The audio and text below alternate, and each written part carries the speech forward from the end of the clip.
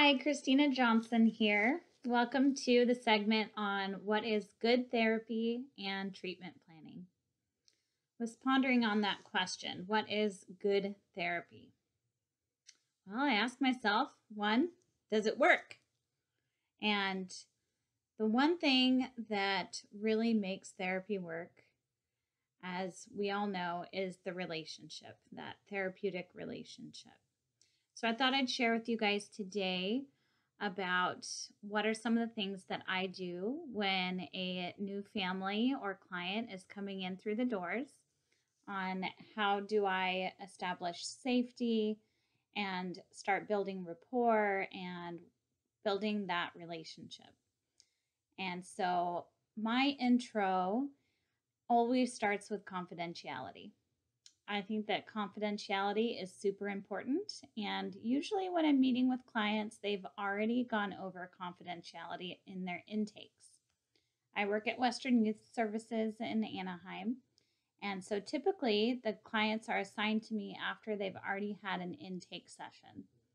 At their intake session, they have filled out questionnaires and they have talked at length with their parent and the therapist about the problems that bring them in for therapy. And so they're probably expecting when they come in to see me more of that, that they're expecting that they're going to talk about what caused the problem, what are the problems that bring them in for therapy, how they are the problems. the parents are oftentimes worried or assuming that they're going to be blamed for why the problems are happening. And so I kind of um, I like to start with confidentiality so that way they know that what we talk about in there stays in there. And I share with them that I know I wouldn't tell my therapist half of what I tell him if I didn't know that it was going to stay in there in that room. And so I self disclose that I also have a therapist and that I applaud them for coming in to um, to work on themselves, to work on their relationship, and to better their lives. Not everybody does that. Everybody has mental health and everybody has struggles, but not everybody has the courage to come into therapy. So I really start off with just giving them props for that. Um, after going over the limitations of confidentiality, I talked to them a little bit about informed consent. You know, it's important to know what to expect. And that's what treatment plans are really all about, too, is so that way they can know what to expect in therapy. What's it going to look like? What are we going to be doing in here? And so I let them know that I always have an assessment period. I work at a Medi Cal clinic, and so there is an official assessment period. But even in private practice that I started doing in the last year, I talk about this assessment period that I have with my clients when we're first getting to know each other. And I talk to them about that this is our time where I'm going to be getting to know you and you're going to be getting to know me. And we're going to be coming up with our treatment plan, our care plan. And the care plan is basically like a map. It's going to be a roadmap and it's going to have on it our destinations and what your goals are coming in for therapy. So, in the beginning, as you get to know more about me, I'm going to be getting to know more about you. And today is going to be all about what matters to you and what destinations do you want to see on this map. So, I think that one of the things for good therapy that's important is to have a balanced relationship. I I let them know that I'm a marriage and family therapist. I am very relationship focused. And so it's important to me that there's a balance in the room, that I find out what matters to both of them. Working at a Medi-Cal clinic, everything is very client focused. You even have to document everything as client, client, client. It's very much the identified patient or the IP that just drives me crazy. But eh, we got to do what we got to do so that way they can get their services and Medi-Cal will pay for it, right? So I let them know that I am a relationship therapist, that I am focused on the relationship, and that both of them matter very much to me. A lot of times, working with teenagers, they'll come in and the parent will want to stay in the lobby or drop them off even and drive away to go to Walmart and do some shopping while I meet with them. And so I let them know that they matter and that I want to know what matters to both of them. So, good therapy, that good relationship, I work on that from the get go with reflective listening. Feels really, really good whenever I have someone truly show that they are trying to understand how I'm feeling, my perspectives on things, and how I see not just the problems that bring us in for therapy, but what I want. What's my end game? What's my buy in? That's what I'm exploring. That's what I want to hear from um, each of the family members about. What's their buy in? So I kind of have trucker eyes. when I'm meeting with a family. I I'm, I'm listening to both of them when when one's talking, I'm also looking over at the other one. So uh, we kind of laugh about that. That I'm like, I know I've got kind of trucker eyes. almost like I'm doing EMDR or something on myself. Maybe it helps me stay calm. Hmm, I haven't thought about that before. But um, it is important to me to be mindful about the balance I um I want to make sure that I'm hearing from both of them, which can be kind of difficult whenever one of the family members in the room um, tends to do most of the talking. So I am very strength based. In my intro, when I first get to know people and I let them know, hey, every therapist does things different. Sometimes the clients come in and they've had therapy before. And so I want to explore that. I want to see what was their experience like before? What did they like about it? What did they not like about it? How can I not recreate the wheel here and build off of what they liked from their previous experience? Or, you know, not repeat the same mistakes. So um, I'm a very straightforward, very transparent type of therapist, and my clients tend to like that. I've gotten a lot of feedback from the families that they like that I'm a straight shooter. I call it how I see it. And um, I'm very honest with my clients and very straightforward. And they tend to respond really well to that. So they tend to know what my theory of change is. I know that we're in MFT theories and techniques, and that many of you are going to be discovering um, what is your theory of change? Which one do you gravitate towards most?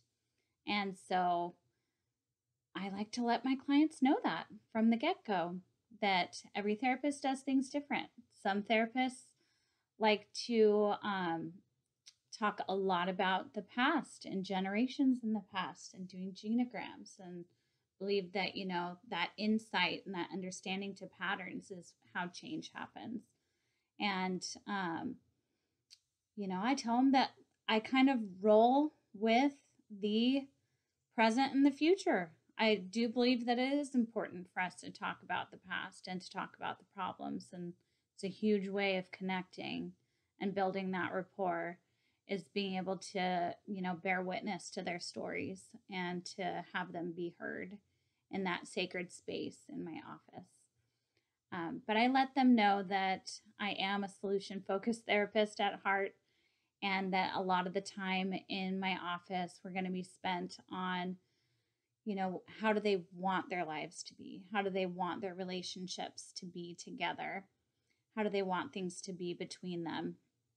And how are we going to get there and so today tomorrow and the next day which is really quite relieving for a lot of the teens and families that come in through the door who have heard and heard and heard again about what's wrong and what's the problem.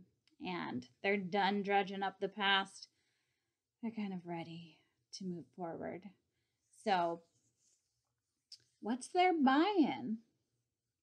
You know, there's that whole willingness factor.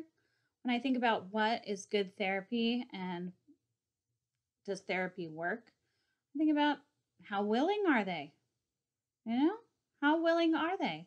Sometimes I see clients that are coming on a court mandate that they're there because their probation officers making them come. Specializing in teenagers, a lot of times they are drug in there and they don't want to be there. But it doesn't stay that way. And so I think that that's really a testament to how well I'm able to find out what is their buy in. What is their buy in? What matters to each of them? And so I have an intervention that I'd like to share with you guys. One of the ways that I find out what's their buy in and what matters to them. And it helps out a lot with the treatment planning. So I have a lot of sticky notes. I should probably take up stock in sticky notes. I think I should do that. But I uh, have two different colored sticky notes, and I give one to the parent or to the parents, whoever's in the room, the caregiver, and I give the other to the client or the teenager. And you can do this with couples, you can do this with larger families. Um, most frequently, I'm meeting with a single caregiver and with their child. So, but you can you can really mix it up and do this with anybody. So, I have in my office the door that people come in through, and I have a wall on the other side that's actually a window. The whole wall is a window. And so I give them sticky notes and I give them each a pen. And then I say, okay, you guys know that I want to find out what matters to you, and I want to find out what matters to both of you. And it might be different, and some of it might be the same. So, I also am curious as to how you see the problems that brought you in and how you see um, where this is going, where you want this to, therapy to go. So, I instruct them to, on their own little sticky notes, to write out how they see the problems that brought them in for therapy. And then to place them on the window wall. And so sometimes they're they're like, "Huh, can you give me an example?" And yeah, I let them know if you're feeling stuck, then think of thinking, feeling, doing questions. So, what were some of the problems with feeling? Like, how did you guys feel when the problems were at their worst? Or what did you notice that you saw that Jane or Johnny was feeling depressed? Or we noticed this that they were self harming, or you know, that there's trouble at school, or whatever it is. Um, they write that down. Um, what goes on between you guys? I ask that a. Um, what's going on between you guys when the problems are at their worst? And so they place the sticky notes. Sometimes they place each sticky note up as they do it. Other clients, they like to write a sticky note down, put it on their thigh, put write a sticky note down, put it on their thigh. They make a pile and they place them all up there at once. And I tell them there's no right or wrong way to do it. There's no quota on how many sticky notes. This is just for me to find out what matters to you guys. So then, after they're done going and placing the sticky notes up on the window wall, then before reading through them, I point over to the door that they just came in through. And I point out that that is also the door that one day they are going to walk out of when they graduate and successfully terminate from therapy with me. So I want to know how are they going to know when they're ready to graduate from therapy? So, same thing thinking, feeling, doing. Maybe it's the opposite of some of those sticky notes on the window. Get really thinking about how are you guys going to know when things are better, when better enough that we feel ready to successfully end therapy. And I usually say, when you're ready to be like, bye, Christina, we don't need you anymore. And they tend to laugh at that. So I sit quietly and pretend not to peek over at the window wall and try to see what they're writing. And usually, family members, they kind of look at each other's. Oh, what are they writing? Hmm. And so I say, no peeking, and kind of laugh. So then they put them up on the door. And then we process. We process, process, process. So I asked them to share with me what they wrote. And anybody can go first. So they share with me what they've placed over on the window. And I think that good therapy is when I'm focused on the process not so much on the content. So, what goes on between them and what is that like for them? If, um, let's say that the parent puts on the board, you know, that they are harming themselves, what is that like for you? Okay, what does that bring up for you as a parent? So, I really um, try to stay out of the weeds and try not to get too lost in content by staying in the process of what goes on for them, what goes on for them individually, and what goes on for them relationally, and how is this a relational issue. It's not about the IP here. It's not all on the parent and it's not all on the kiddo. It's all between them. So I really do start from our very first session on making it relational. So, um, the sticky note intervention is something that really helps with treatment planning. I noted that from before explaining it. So, how does it help with treatment planning? In the treatment plan or care plan, as it's called for Medi Cal, there are treatment goals and the services and the frequency of services and for some counties, not for Orange County, but for LA County and Shasta County, Riverside County, um, you have to actually say how many minutes.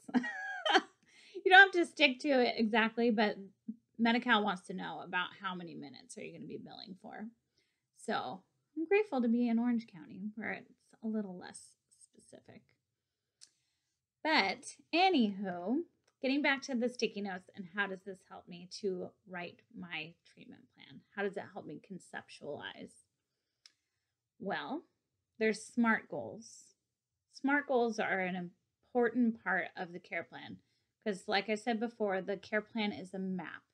It has our destinations of where we want to go in therapy. How are they going to know when they're like, bye, Christina, we don't need you anymore? So these sticky notes with their own words on it, I use those quotes. So that way, this care plan, this treatment plan is not Christina's goals for this family.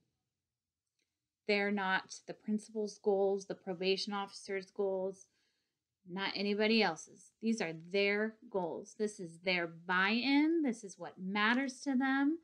This is their motivation. This is that willingness. That's the key to making good therapy, making therapy work, right? I want to make sure that I am staying focused with my eyes on the prize onto what matters to them. So, I mentioned SMART goals, S M A R T. Um, what makes a good goal is that it's specific, hence the quotes, right?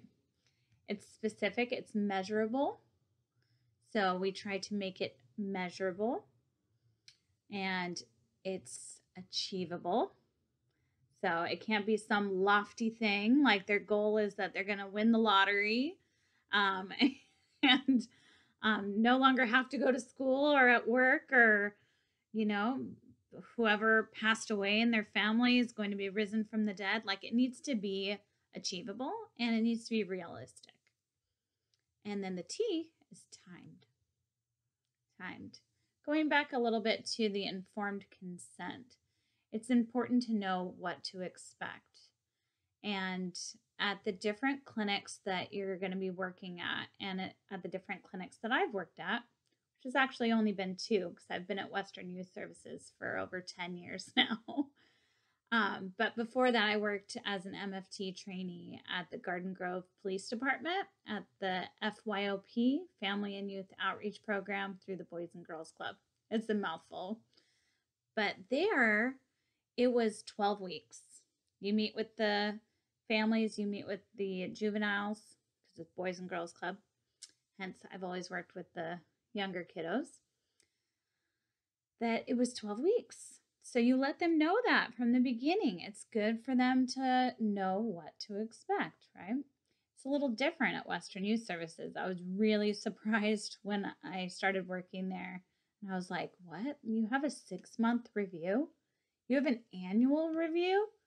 You have clients that have been here for over a year or for multiple years? It was it was radical to me. And now I've been there for so long that it's like a little less radical But as brief solution focused therapist, it's still not ideal for me to have a client for too long.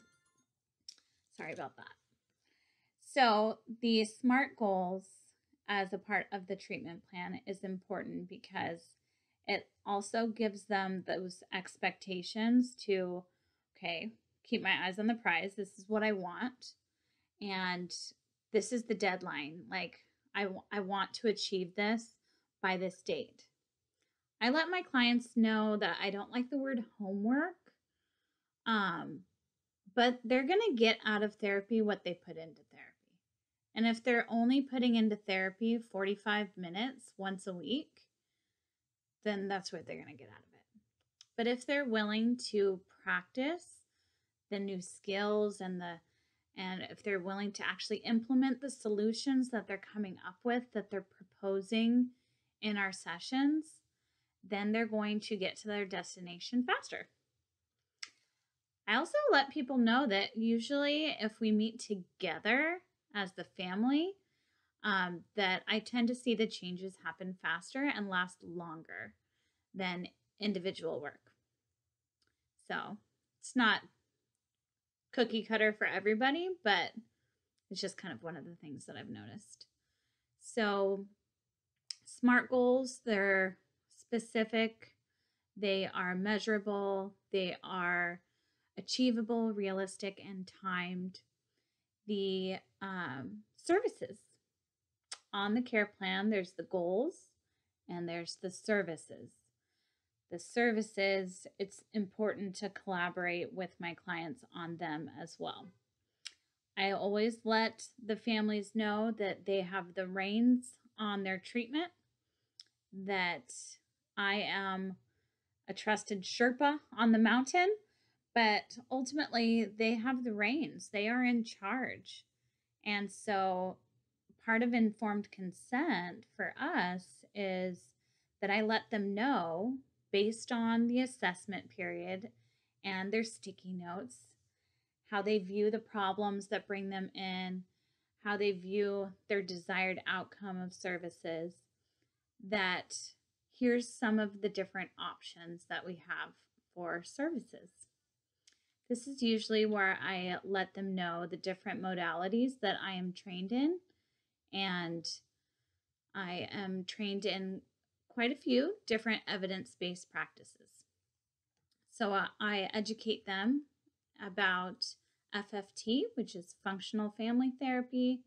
I educate them if they have a lot of trauma and that seems to be holding them back and part of their desired goals is that they want to be able to move past the past or they want to find healing from the past experiences the shared traumas that they have um, then i give them a lot of psychoeducation about tfcbt and emdr um, TFCBT is trauma focused cognitive behavioral therapy, and EMDR is eye movement desensitization and reprocessing. I know, I know, it's a mouthful, right? But I let them know about those different types of treatment and that they can choose and they can choose to change their mind.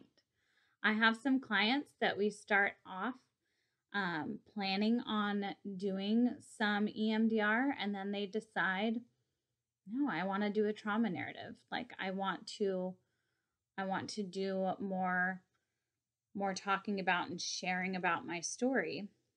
Vice versa. Sometimes I'll start doing some TFCBT and they're just like, yeah, I was thinking a little bit more about that eye thing. and maybe I want to try out some EMDR. So I always empower my clients to let them know that they are in control, that they are in charge of their treatment. And I just thank them for trusting me, for trusting me to to help them to reach their destination. Um, one thing about good therapy is that I remain humble. I am just a person and that I need their feedback. That this is a relationship and it is a two way relationship. I, I really do need their feedback to make sure that I am still talking about and working on what matters to them. And if they really liked a session and they liked some stuff that we did in that, I need to know that so we can continue on that vein. If they did not like it, I need to know that too so I can tailor the treatment to them. When I'm presenting a care plan and presenting a treatment plan, I let them know this is not written in stone. Okay.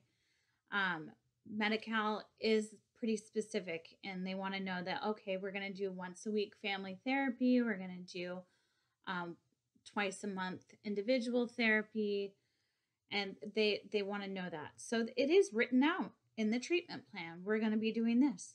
I let them know that it's not written in stone. So if something's going on for you and you're needing more sessions let's say that there's some safety concerns going on and you need more than once a week then we can do that and we can meet maybe twice a week until you feel like you're out of the woods um, if we have a very individually focused month. Let's say that we're working on a trauma narrative and we have all individual therapy that month with just a few case management check ins with the family. That's okay too.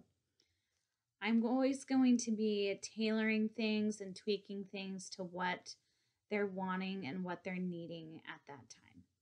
So I think that that's a part of what makes therapy good therapy is them knowing that they're in control and that helps to build the safety and build the trust in our relationship so the treatment plan i need to revisit it on a regular basis um, i don't typically wait for a six month review um, to review their goals um, I get feedback at the end of each session.